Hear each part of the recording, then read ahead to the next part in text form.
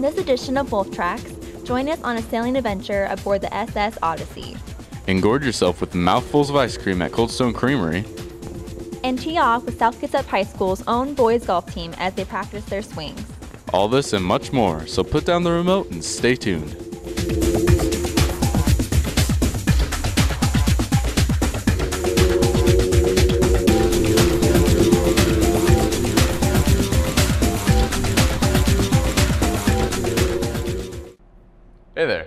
Jacob Bilderback, and right now I'm standing just outside South Kitsap High School's gymnasium. While you may come here to see a basketball game or a volleyball match, what you won't see is balance beams, trampolines, and people flipping through the air. For that, you need to head on up to the Mile High Gym. We'll let our friend Kelvin Waterman take you there now. Have you ever been driving on Mile Hill and saw that strange large blue building? Well, a lot more goes on inside those doors than you probably would have expected. Mile High Gymnastics is the only gymnastics center in this area.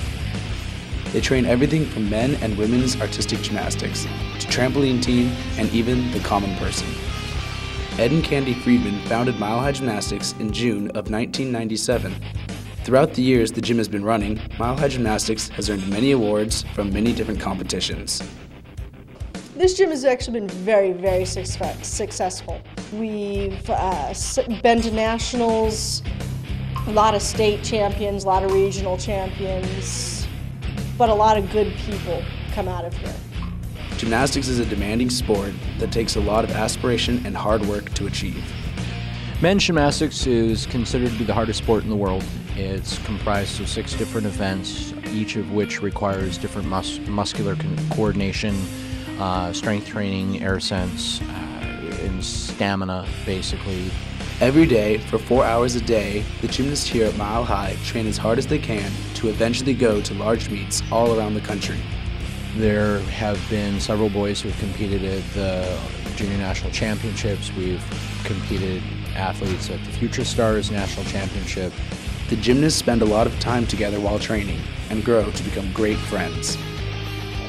Gymnastics is definitely a really fun sport, and I love the team that I have here. They're all a bunch of fun guys. Not everyone wants to do gymnastics, but people still come to the gym to have fun and work out. The gym has two different programs for the average person to come in and have fun. They have Open Gym, where kids come to play in the gym in a safe environment. Also, there's an adult class. All right, adult class is a time for teenagers to use the facility for whatever they want. Usually cheerleading or parkour. Um, that's the popular ones. People commonly come to the gym to practice tumbling and strength for other sports. And some people just come to have a good time and play around in a safe environment. In South Kitsap County, where there's not a whole lot of things to do, we offer a unique opportunity as a place that you can come and hang out for a while. So whether you want to do gymnastics, work out for other sports, or just play around, Mile High Gymnastics is the place for you. Hey guys, I'm Meredith Carlson, and if you're like me, you're probably terrible at golf. But luckily for South, we have some very talented boys players who can give us some tips. Here's Tony Hanawacker with the story. Let's watch and learn.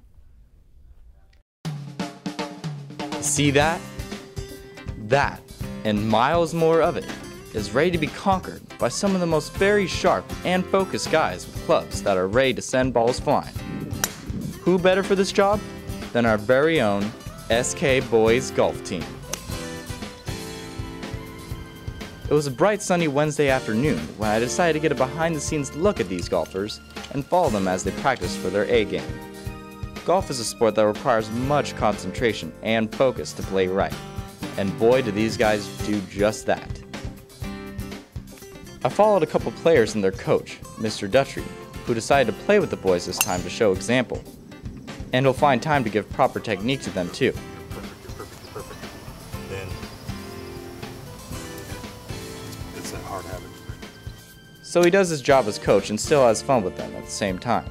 I got a really good group of guys that really love golf, and they've been working really hard to get better. And I think as the year went on, even though the weather was horrible, the team really got got better, and they started playing a lot of extra golf on the weekends and after practice. You can see some of the you know outstanding qualities these these kids have. Golf covers probably the most distance of any sport, and these guys walk miles and miles. Well, the bag's heavy, but I mean, 18 holes is just like five, six miles, and you don't really think about walking. So, what makes these players so into the game? Golf is all about accuracy, and you have to use extreme precision in every shot, and it's a nice day out here. Well, the first thing that everyone should know about the golf team is that it is a very demanding sport, not necessarily physically, but it definitely is mentally. Um, it takes a very long amount of time to, uh, to master some concepts that can seem simple at first, but they generally do become more advanced over time, and uh, you really do find yourself being, being challenged in, um, in both physically and mentally ways. Golfers are probably the most mentally strong people in all honesty, I think this is one of the most competitive sports South Kitsap offers because golf is not based on the number of good shots you have, it's the number of bad shots you have. That's what makes the difference between scores. All right, it's time to wrap this behind the scenes look up. So, let's let the boys continue to practice and hope they continue to strive to become great golfers.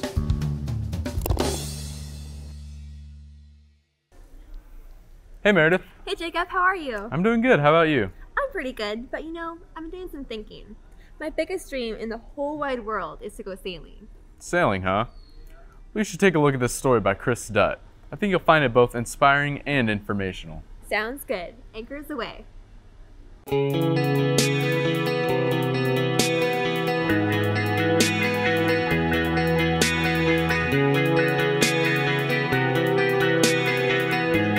is how man first crossed the ocean, propelled through the water by the sheer power of the wind. Local Sea Scout ship 190 aboard Odyssey, offshoot of the Boy Scouts of America, learns the secrets of sailing and experiences its joy. The crew is co ed teenagers from all over western Washington and even as far as the East Coast. A brief look into the history. The Odyssey was launched in New York as a birthday gift to the Mr. Vanderbilt from his wife. Four years later, World War II started. The Odyssey was commandeered and used as a listening ship for the U.S. Navy. After years of hard use, she became tired and the Navy didn't want her anymore. So she was sold for $1 to the Tacoma Sea Scouts. After years of restoration, she came back to life and now operates every Thursday and on the weekends. A co ed crew of high schoolers are eager to get her going this evening. After dark, everyone must sport a life jacket on deck. Engine checks are completed, and a manifest of everyone's name is read. Spencer Stewart? Here. Derek Daggy? Here. Henry Hensley? Sails are then prepared to raise. When getting underway, the deck officer, the one in the pink hat, has to manage the dropping of the lines, engines, and take wind and current in other boats into account. While leaving the channel, people are organized to haul up sail. Using teamwork and a manual winch, the sails are raised. Hi, I'm Savannah McIntyre, again the coolest one.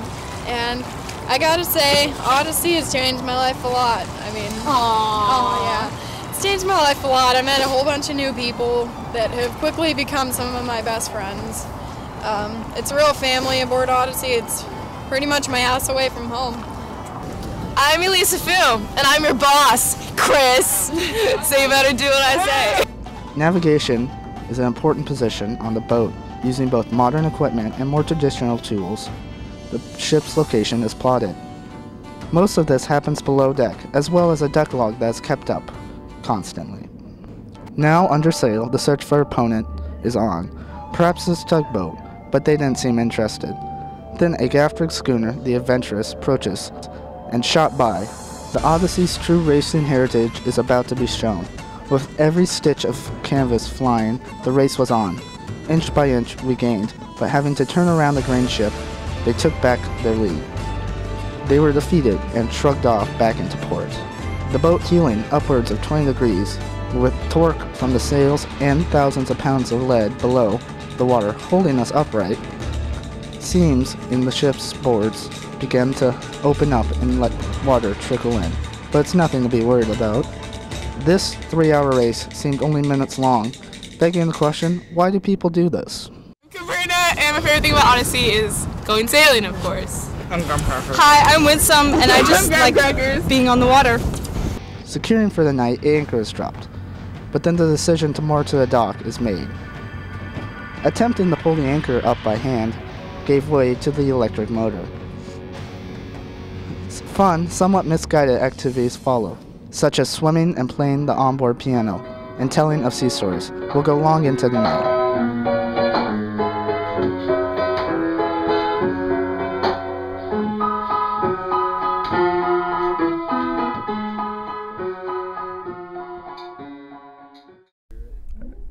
Mmm, I sure do love seafood.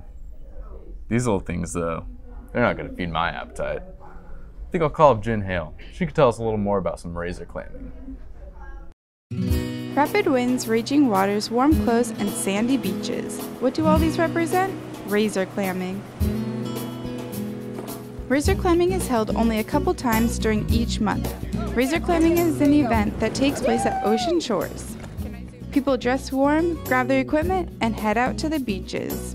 Some people have been clamming for several years.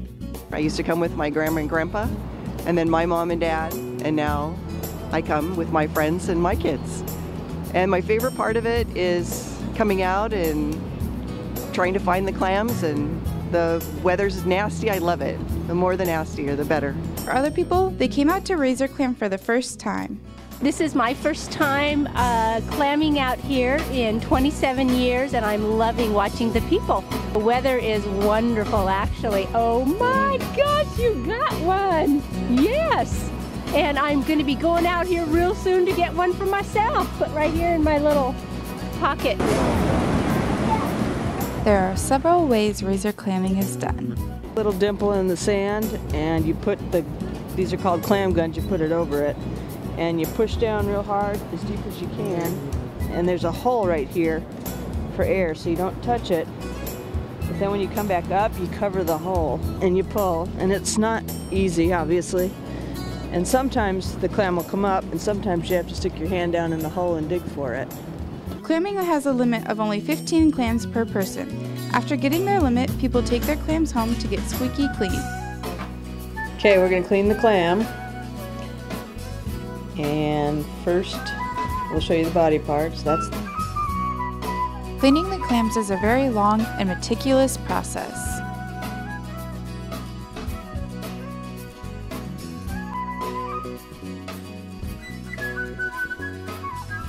This white stuff you can leave on. This is a, supposed to be the best eating piece of the clam. After they're all cleaned, it's time to cook them up. To cook them, you just put the clams in beaten egg, breadcrumbs, then fry them up.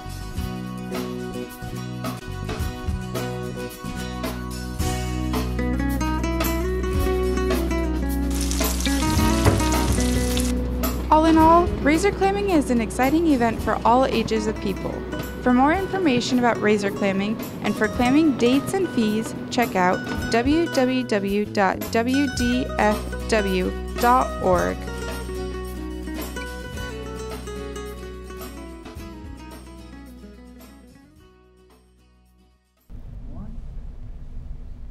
Romeo, Romeo, wherefore is thou Romeo? No, no, that wasn't it. I'm using acting technique classes and to watch Jacob Bilderback's story. Romeo, Romeo, where are you, Romeo? Do that. Then everyone in the room be out. I am the king! Never take me alive! It's a class unlike any other. While most classes have students sitting down in a traditional classroom setting, the acting technique classes offered at South Kitsap High School are quite the opposite. Students in the acting technique classes are encouraged to break out of their comfort zone and let loose. The classes are taught by Deborah Emmons and Scott Yingling, who couldn't enjoy their jobs more. The thing I enjoy most about teaching my acting techniques classes are the students. Uh, we get a lot of students from uh, all different types of backgrounds, and uh, unfortunately, we have cliques here at the high school. Uh, I do not support them, but unfortunately, we have them, and uh, I, we get a lot of students in the theater from all different types of cliques, and it's amazing to see when I ask in the beginning of the trimester how many people get signed in or how many people really aren't sure about taking the class and how many hands I see, and then at the end, how I see uh, how that attitude has changed and how many friends people make and uh, really kind of the family atmosphere that we create in class. Throughout this course, students learn basic but valuable acting skills. Students have many assignments in which they must work together to create a scene which improves their newly acquired skills and also gets them comfortable working in front of an audience. Speaking in front of a crowd is an ability that seems to be diminishing in the younger generation this day and age. Through the acting technique classes at South Kitsap High School, students are able to build confidence in their public speaking skills.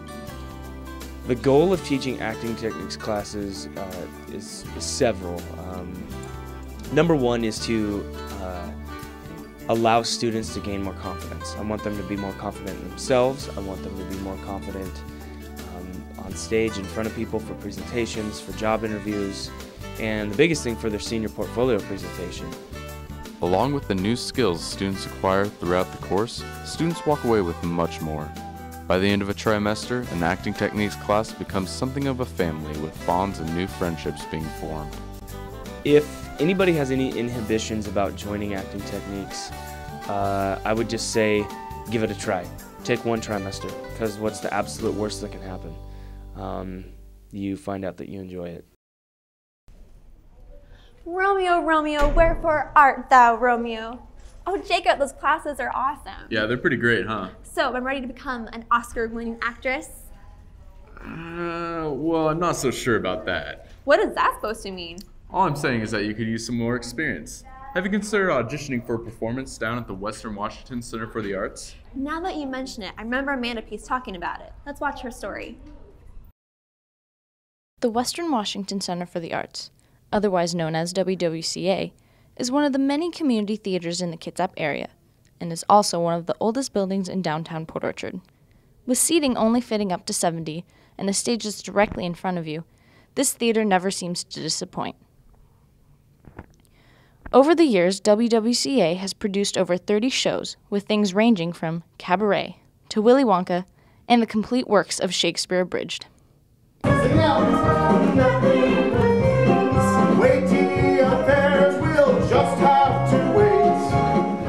Month of April of 2011, musical director Jan Ewan was working on a funny thing happened on the way to the forum, where a secluse boy falls in love with a courtesan right across the street and bargains with his slave to help him get her. Jan's favorite part about volunteering here? My favorite part is working with all the different age people and just the wonderful community and sense of family that you develop when you're working on a show, and it's just a really great place. Jan isn't alone. She has her husband, Bruce, help with the musical aspect of every show. Working down here isn't all fun and games. The cast works very hard every weekend and during the week for a couple of months in order to get prepared. But the shows aren't exactly the cast's favorite parts. I really enjoy the intimacy to the audience. Probably be the people that I get to be around. Being being able to volunteer whenever I'd like to, being able to help out this theater and create art that probably wouldn't be here. Community theater is a great experience for everyone of all ages. You can even ask Jan. Community theater is a great opportunity to enhance your life, to discover things about yourself, creative parts of yourself, and um, that you may never have experienced, and to really have a lot of fun and work with others to create something that's just a joy. Jan also teaches singing and acting classes at WWCA. In order to find out information, you can check out their website, or you can stop on by and pick up a pamphlet. And there you have it the Western Washington Center for the Arts. Come and check out the history. Wow, what a beautiful day. Look how nice Bremerton looks over there. Kind of want to head over there and check it out. Definitely don't want to drive though, gas is way too expensive. I remember TJ Bell telling me that the foot ferry was a good option. I think I'll go check it out.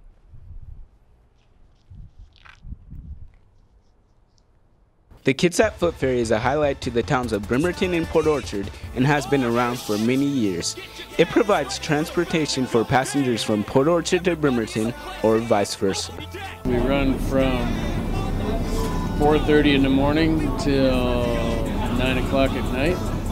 I start at 12.30.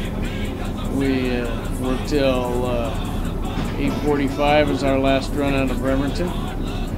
So we're on about nine hours a day from 12.30 to 9 o'clock. We transfer to the Carlisle during the busy times when we have a lot more people that from 3 o'clock until 6.30. It takes much more than steering just to operate the ferry, so here's how to operate the ferry in great detail.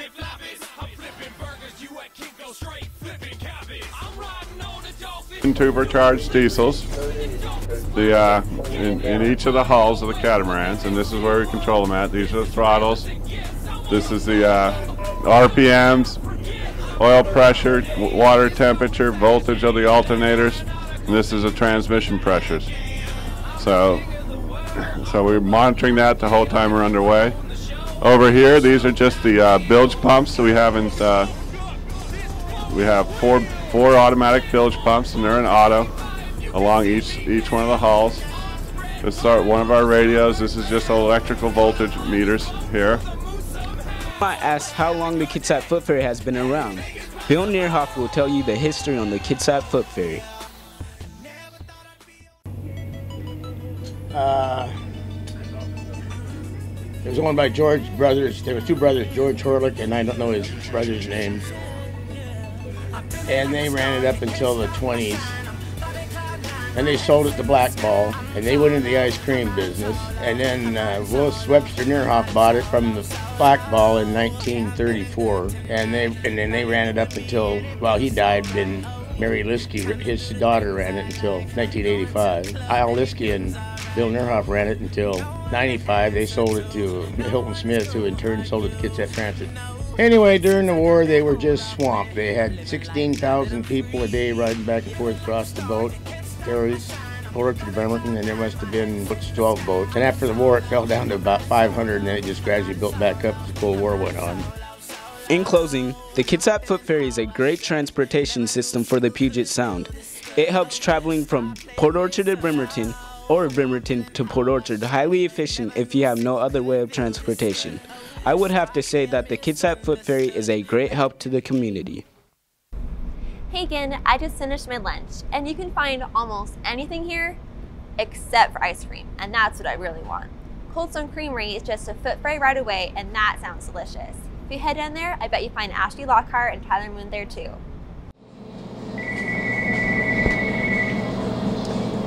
Every day is a great day for ice cream here at Cold Stone Creamery in Bremerton. This is Amanda. How can I help you? Every day is a great day for ice cream, thanks to the Cold Stone Creamery. The Cold Stone in Bremerton welcomes all sorts of people from the hours of 11 a.m. to 9 p.m. With the songs and smiles of the joyful and welcoming environment, it makes you wonder what really goes on behind the stone. So we asked, what's so great about working at Cold Stone? Well, the free ice cream every shift isn't that bad. Best part is that it's fun. I work with really great girls and some boys. There are a couple here. Um, but it's a lot of fun working with people who are happy, who enjoy being here, and it's nice being able to work with people directly. I don't like being lonely. As you can tell, the customers are very important. Cold Stone offers a variety of different mix-ins so the customer can have whatever they want for a high price of 79 cents for every extra mix-in. For the people who get overwhelmed with the options, Cold Stone made signature creations. Customers either love or hate these. Um, they don't have any other ice cream place besides Dairy Queen. But Dairy Queen makes blizzards, and you can put stuff in it and make your own there too. As Courtney said, Dairy Queen is just the same as Cold Stone, except you don't get the joy of riding the ferry and making the ice cream trip more fun. The journey to Cold Stone might be a long drive, so normally people take the ferry. It's just a hop, skip, and a jump away. Being so close to our community, Cold Stone often gets involved with certain organizations. This year, they did the Make a Wish Foundation, which led to Kate's creation. So, the Make a Wish Foundation uh, has been pairing with Cold Stone Creamery for a couple years now to provide the world's largest ice cream social. Every year we have a special ice cream that our Cold Stone creationists make, and then someone from the Make-A-Wish Foundation, usually a child who has an, illness or is just with the program, will make their own creation. So this year it was called Kate's Creation, and the ice cream was cinnamon apple. And uh, we have free ice cream that we give out. We give out kid samples about yay big and little cups. And everyone comes in, and there's a whole bunch of donation jars everywhere. We just have a good time, give out free ice cream, eat lots of ice cream, and get donations and sing songs. So, how could you say no to free homemade ice cream? Here at Cold Stone, everything is homemade, from the cakes to the ice cream and even the waffle cones. Cold Stone guarantees the freshest ice cream on the market. How is this ice cream made? Uh, Cold Stone is the best ice cream because we make all of our ice cream in store, so it's guaranteed to be fresh. We have large bladders. Uh, they're five gallon. I know they're they're called bladders. If it's a liquid like our cotton candy ice cream, which we use a cotton candy base, we pour the base directly into our ice cream machine, and then we pour the uh, sweet cream over the top, and then we pour it into the ice cream machine. It's all homemade and it's made with love. Love is a secret ingredient. Every customer loves these assortments of ice cream. They have really good ice cream. Uh, Cold Stone is the best ice cream because it's different varieties of ice cream. This is my favorite. So on the next day, when you have some ice cream cravings, think about Cold Stone because you will love every last drop.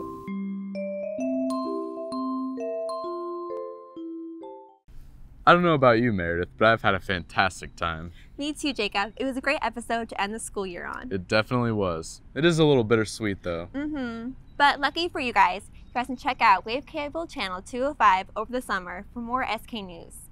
And with that, I've been Meredith Carlson. And I've been Jacob Bilderback. Thank you for joining us here on Wolf Tracks. We'll see you next year. Who can give us some tips. Here's Tony Wacker. Oh gosh, shoot. Keep going. Here's Tony Hannewacker with the story. Which one was this for? This is the both Jacob and I. Washington Center for the Arts. Romeo, Romeo, where are you, Romeo? oh. Okay. Maybe I'll call up Jen Hale, see what she's up to. She can tell us a little more about razor clamming. Okay. I don't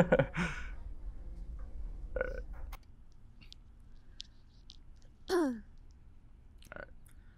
I don't know. Alright.